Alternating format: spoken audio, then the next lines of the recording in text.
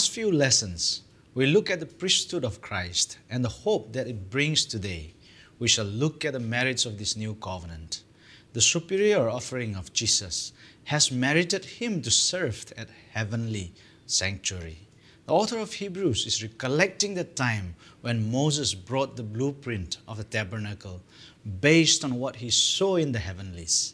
It was a copy to the one that Jesus is now serving. Every priest was to offer a gift in the sanctuary they served, and Christ, being a priest, has to offer a gift. He offers himself on the altar, the cross that God had set for him. He is being glorified through the cross. Christ is mediator of a superior covenant. He is the one who brings together two parties in conflict and establishes a treaty between them. A covenant is a contract or treaty that binds the two sides to one another. Moses was the mediator of the old covenant and Jesus of the new. We see that Christ was a new Moses who not only mediated a new and better covenant that brought the old to completion, but also fulfilled its requirements more than any human could have. We see that this new covenant is established on better promises. These promises include entering God's eternal rest, receiving our final eternal inheritance, being part of the Abrahamic covenant, and several others which will be covered in the coming lessons. Not only is his ministry and covenant superior in the new, but the promises behind them are far superior. So let us get a grip of this lesson and try to understand that these vital teachings which are paramount for our daily lives. This is Through the Bible. Thank you for joining us. Let's read verses 3 and 4. For every high priest is ordained to offer gifts and sacrifices. Wherefore it is of necessity that this man have somewhat also to offer. For if he were on earth, he should not be a priest, seeing that there are priests that offer gifts according to the law this verse makes it clear that at the time the epistle to the Hebrews was written, the temple in Jerusalem was still in existence, and that in it priests were still going about their duties. Verse 5 Who serve unto the example and shadow of heavenly things, as Moses was admonished of God when he was about to make the tabernacle for see, saith he, that thou make all things according to the pattern shewed to thee in the mount. When God instructed Moses to build a tabernacle in the wilderness, God gave him a pattern of the original in heaven, the true tabernacle. The tabernacle, in its beautiful simplicity, furnishes a type of Jesus Christ which is almost lost in the complicated detail of the temple. The tabernacle was also called a tent, the sides of which were upright boards covered on both sides with gold. It measured 30 cubits long and 10 cubits wide and was divided into two compartments. The first compartment was called the Holy Place I hope you are able to visualize what is being shared right now. In it were three articles of furniture. The first one was the golden lampstand, the golden table of showbread was the second, and the third article was the golden altar where incense was offered. No sacrifice, remember? Only incense. The lampstand was a type of Christ, symbolic of the light of the world. The table of showbread symbolized him as the bread of life. And the golden altar at which the high priest offered prayer spoke of Christ, our great intercessor. Then, on the great day of atonement, the high priest passed through the separating veil into the inner compartment. This is the second compartment. And this was the Holy of Holies, in which were two articles of furniture the Ark of the Covenant, made out of wood, covered with gold inside and outside, in which were the Ten Commandments written on tables of stone, a pot of manna, and Aaron's rod that budded.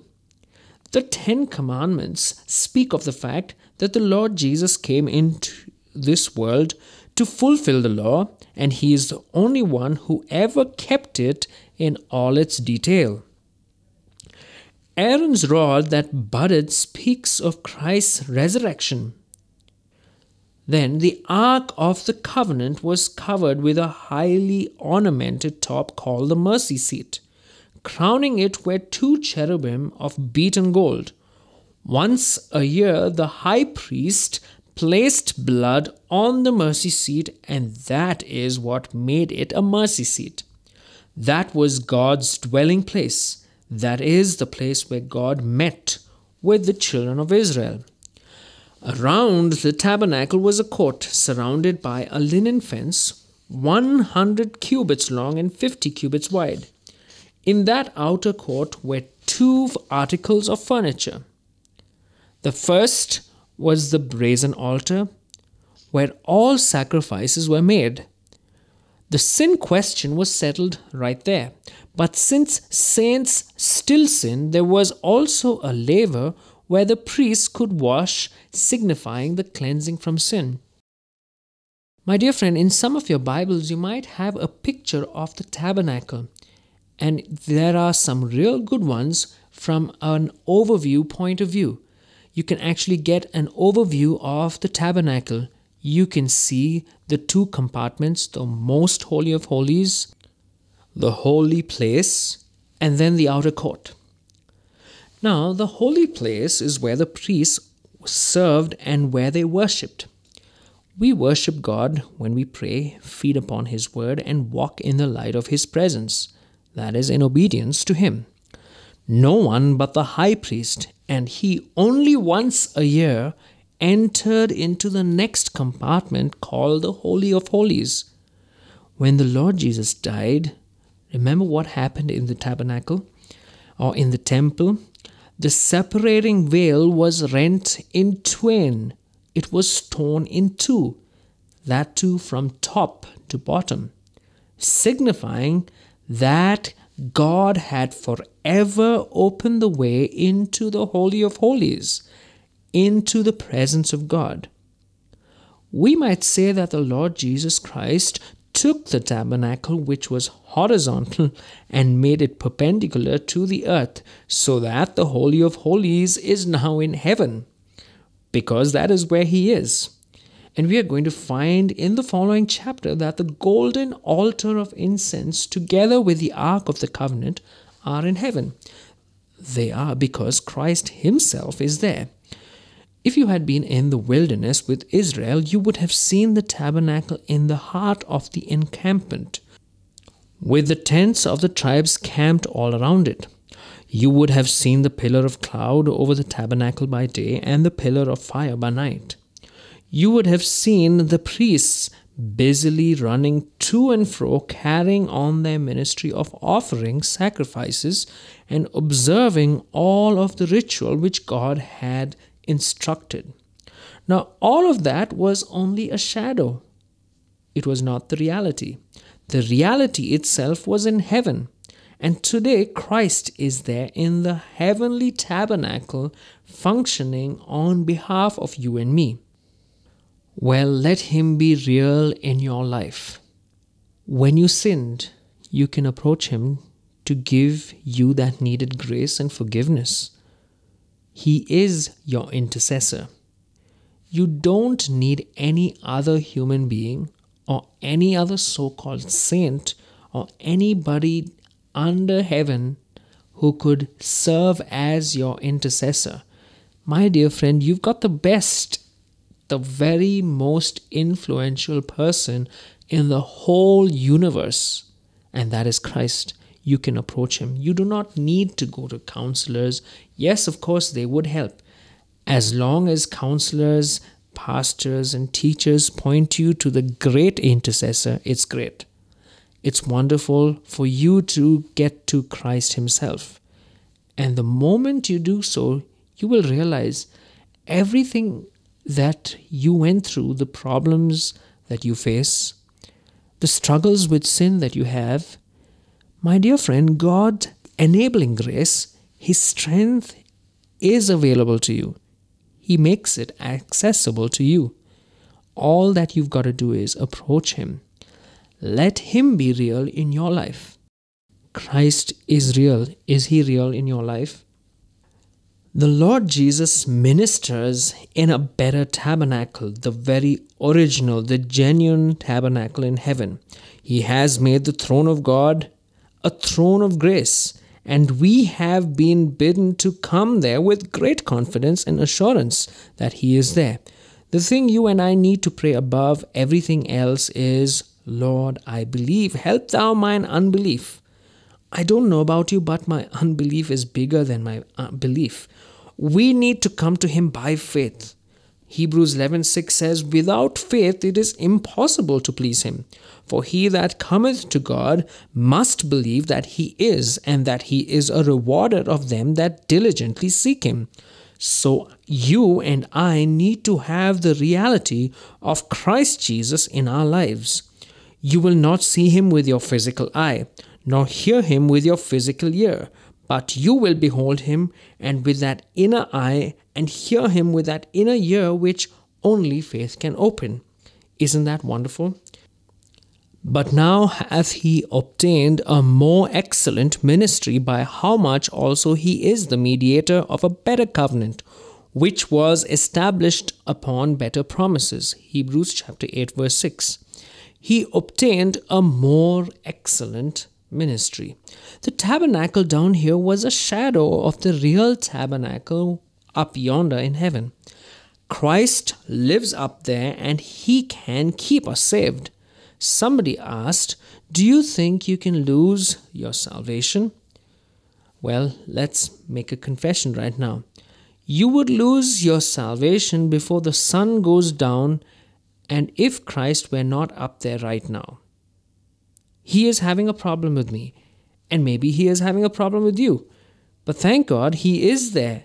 He is up in the heavens, preventing you from in any way losing your salvation because he is definitely more concerned for you rather than you are concerned about yourself. He is ensuring that you live right, you live close to him, and he will not let you fall. He is the mediator of a better covenant. We have what is known as a new covenant today. We call it a New Testament. The New Testament is actually a new covenant which God has made, and it is in contrast to the old covenant of the Old Testament. God gave to Moses the law when he gave it to him instructions for the tabernacle with its service. It was there that sin was dealt with. No one was ever saved by keeping the law.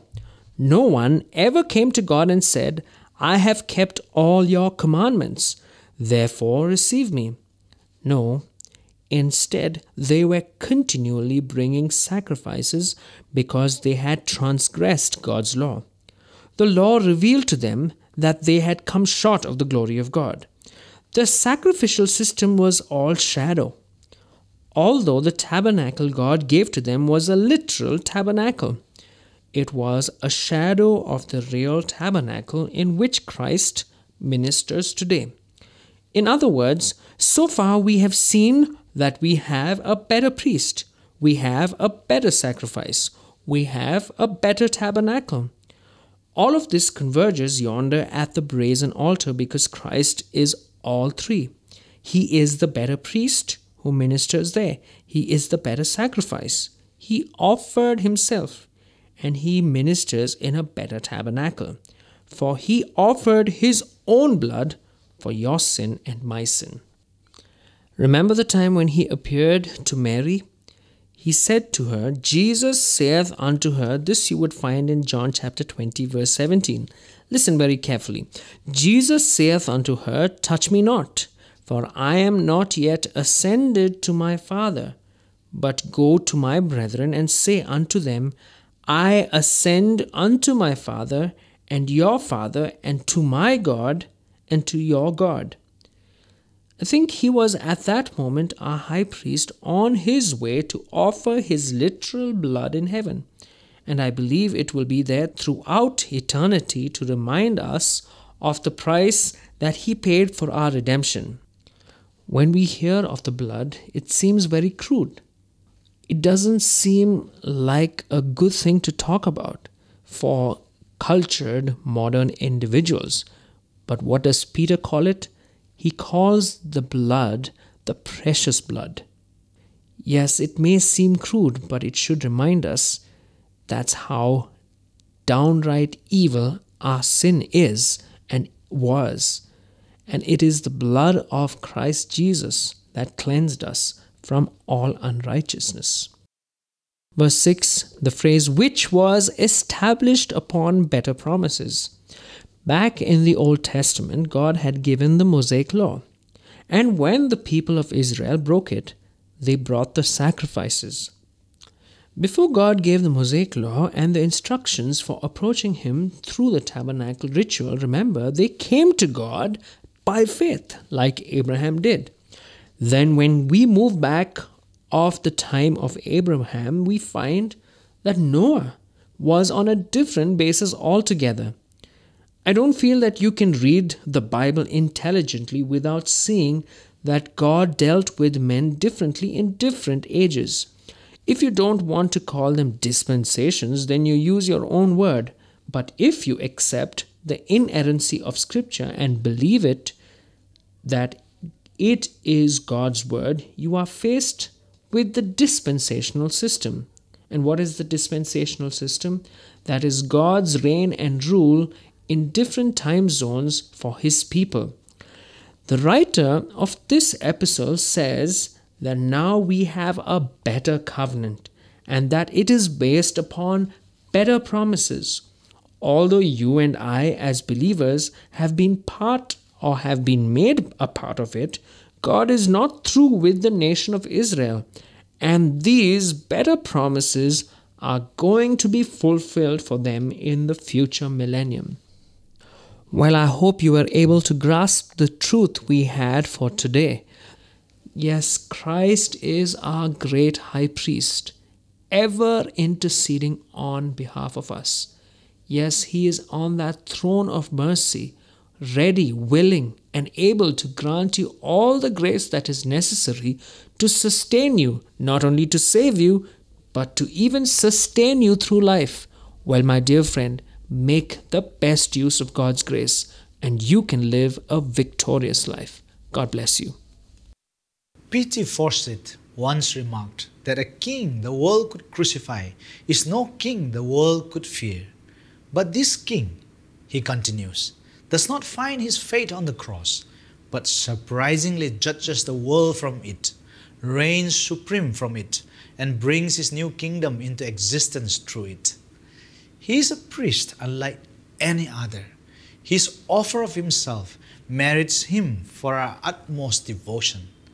As the world around, we look at the cross as some abomination or as some nefarious religious symbol.